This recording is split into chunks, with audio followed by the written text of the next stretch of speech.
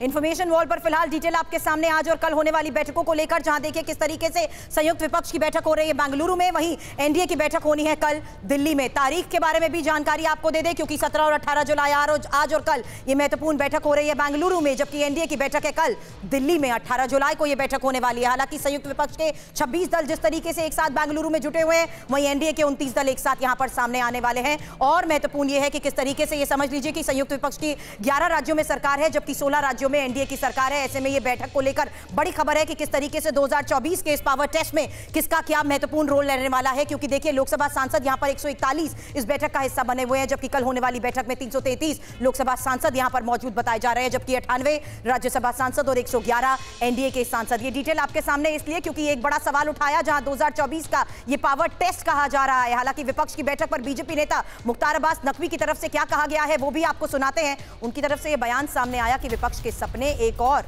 मुंगेरी अनेक।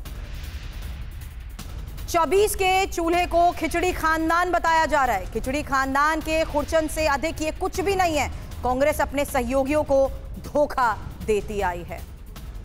चुनावी चूल्हे की ख्याली खिचड़ी खानदानी खुरचन साबित होगी, क्योंकि इसमें जो है वो जो लोग हैं उनके सपने जो हैं वो एक हैं, लेकिन मुंगेरी अनेक हैं इसमें। ख्वाहिशें एक हैं और ख़ानदान अनेक हैं। तो ऐसी स्थिति एक है ना शेर की, हज़ारों ख्वाहिशें ऐसी कि हर ख्वाहिश पे दम निकले, बहुत निकले मेरे अरमान, लेकिन फिर भी कम निकले। तो सबकी ख्वाहिशें तो एक है कि किस तरह से सत्ता के सिंहासन पे पहुंचो, कैसे जो है वो गठबंधन की गठरी को हाईजेक कर लो। कांग्रेस का तो इतिहास है कि ऐसा कोई सगा नहीं जिसको उसने ठगा नहीं।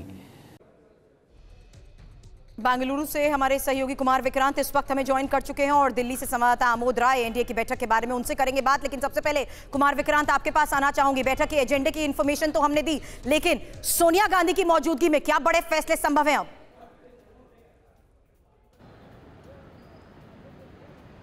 देखिए तीन बातें बड़ी अहम हैं। पहली ये कि गठबंधन का नाम यूपीए ही रहे या कोई और हो इसके लिए कांग्रेस ने बाकी सहयोगी दलों पर छोड़ दिया है कि वो क्या चाहते हैं। यूपीए का अध्यक्ष चूँकि कांग्रेस सबसे बड़ी पार्टी है उसी से होना चाहिए। अब वो सोनिया गांधी को रखना चाहते हैं सहयोगी दल या मल्लिकार्जुन खड़गे को या राहुल गांधी को ये भी सहयोगी दलों सॉरी टू बटन कुमार अभी मुझे पता है आप इन्फॉर्मेशन और देंगे लेकिन सोनिया गांधी की मौजूदगी इसलिए मैंने कहा क्या ये यूपीए की रिवाइवल की कोशिश है?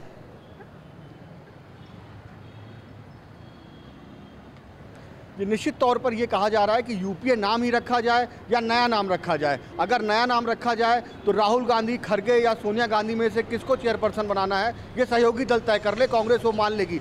लेकिन यूपीए अध्यक्ष कांग्रेस का ही हो क्योंकि तो सबसे बड़ी पार्टी वो है। संयोजक के तौर पर नीतीश कुमार का नाम नाम है जिस पर सभी लोग सहमति देंगे तो वहाँ पर बात बनेगी।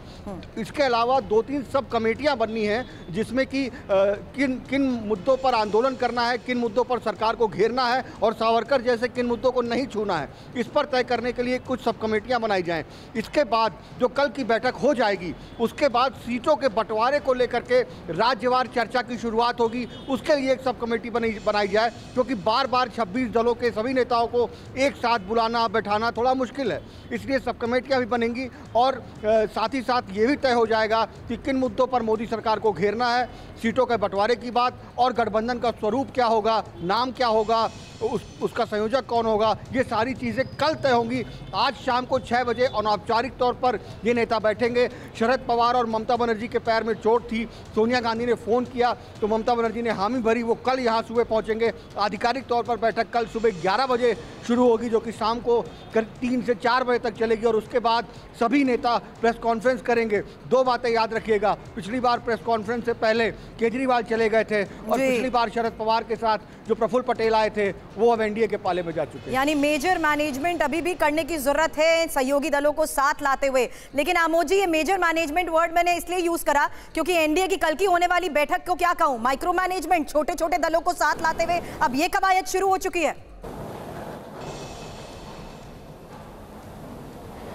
बिल्कुल बिल्कुल सुरभि, आप कह सकती हैं कि बीजेपी माइक्रो मैनेजमेंट करने करने जा रही है और बीजेपी और आज की जो बैठक यूपीए की हो रही है, उसमें एक बेसिक अंतर यह है कि बीजेपी लगभग साढ़े चार सौ सीटों के आसपास खुद चुनाव लड़ेगी, जबकि यूपीए में अभी तय नहीं है, उसमें बड़े बड़े दल हैं, इसलिए उसमें बराबरी के स्टेक लेने की बात होगी। लेकिन सबसे महत्वपूर्ण बात यह है कि बीजेपी के जो गठबंधन दल हैं, उसमें तकरीबन उनतीस कन्फर्म पार्टियाँ हैं। संभावना इस बात की जताई जा रही है कि एक दो पार्टियाँ और बढ़ सकती हैं इनकी संख्या 31 तक जा सकती हैं।